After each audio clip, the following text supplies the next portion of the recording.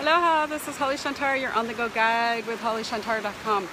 And I'm sharing the second half of my journey on my birthday. And I am now at a beautiful place called Iao Valley. And I'm just going to share some of this with you because it is pretty amazing. Now I'm on a bridge right now, and then there's this beautiful creek. And I just wanted to say that bridges are really important because they help connect us with the old and the new. And if you're having a hard time bridging from the old and the new, find your bridge. What is your bridge? Is it a bridge of minds? Is it a bridge of heart? Is it a bridge of faith? Is it a bridge to spirit? Is it a bridge to a vision of what's possible for you? Today's my birthday, and I think that I'm bridging to a new life. I'm being intentional about that. I'm using this opportunity.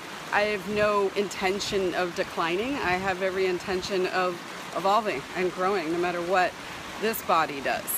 So I'd like to offer this experience of bridging to you just so that you can say, what do I need to bridge to and how can I bridge? And I just have to show you this just like amazing, beautiful, beautiful place that I live in right now. Hope you enjoyed that message and speak with you soon.